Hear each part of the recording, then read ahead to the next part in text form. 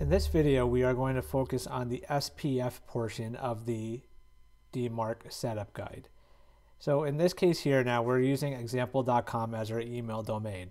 So in this example, it does show that SPF is enabled for example.com. However, we're still going to go through and say, pretend like as if we want to make changes to this record or want to determine what our new record could look like.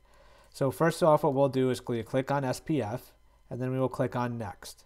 Here again, it's going to explain to you what SPF is. And as a reminder, so SPF stands for Sender Policy Framework. So this is what you're going to use in order to determine and define what is going to be the authorized mail servers that are allowed to send email on behalf of the organization's email domain.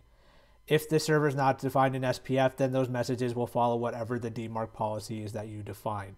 So it's important that you are aware of what servers you have or servers are responsible for sending mail, and also if any third party servers are also being used for mail purposes.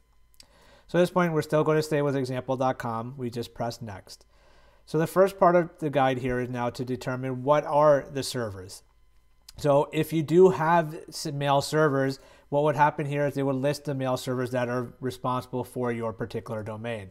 So in this example, example.com example.com does not have any mail servers. So most likely they use some third-party servers. However, even if there's no MX records defined for the for that domain, it's still recommended to in, incorporate this and say yes that you want to add the MX tag.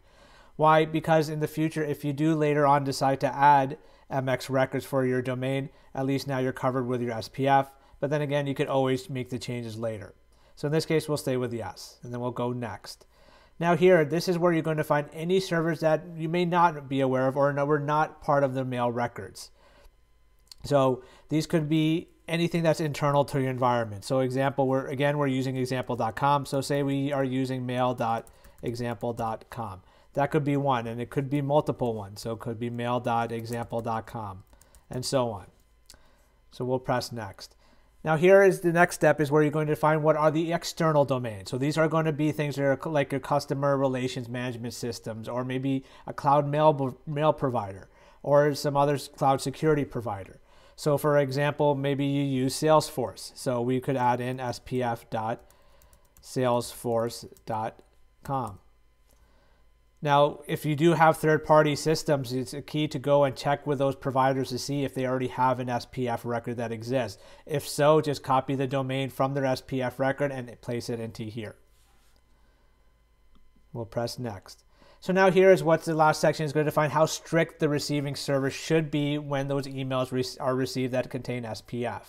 So you do have four options. You have dash all, which basically means that only the domain's mail servers are allowed to send mails for this, for this domain. Anything else is prohibited. The soft fail with tilde all, which is recommended, is pretty much the same like the dash all, but this is where you're transitioning. So you want to use this as a safeguard until you have all the systems that you need into the SPF file or SPF record. Then you also have neutral, which is question mark all. This basically says that explicitly that nothing can be said without validity or can be completed without validity. And then you have plus all, which basically means that any host can send mail for the domain. This should never ever be used. Then we press next, and now we have our SPF record. So here, what says highlight, which I'm highlighting here, is your DNS rec, the DNS record that you will insert into DNS. So you have options where you can copy it and then email it to your DNS provider or maybe your, the staff that handles your DNS server. And then that way you're creating your TXT record. Just note that this is what it will look if you own your own DNS server. In most cases, if you're using a third, third party provider, you may only need portions of this. If you have any questions, please feel free, feel free to reach out to info at Global Cyber Alliance and we can provide any additional and further guidance that you may need. Thank you.